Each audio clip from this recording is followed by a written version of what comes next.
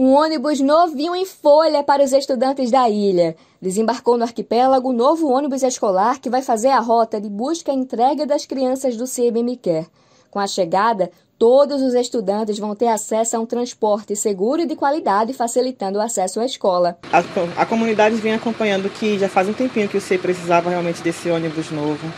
Né? Então a gente chegar aqui e ver um ônibus adaptado para as crianças, com cinto de segurança adequado para eles, decorado para que eles possam ver os bancos da forma como a gente imagina, lúdico para as crianças. Então, eu gostaria muito assim de agradecer as pessoas que se empenharam a trazer esse ônibus para cá, que a gente sabe que trazer coisas para Noronha não é fácil. A gente agradece ao governo do estado, ao secretário de educação, à administração também da ilha, porque precisávamos muito desse ônibus e ele vem realmente agora para dar mais conforto e segurança para as nossas crianças. O veículo possui aparelhos de ar-condicionado e acessibilidade que permitem o estudante com deficiência com mobilidade reduzida o acesso ao interior do transporte.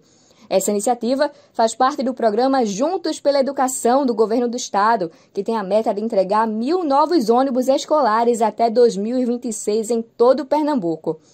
A partir de terça-feira, o ônibus já vai estar nas ruas do arquipélago buscando as crianças do CIEI.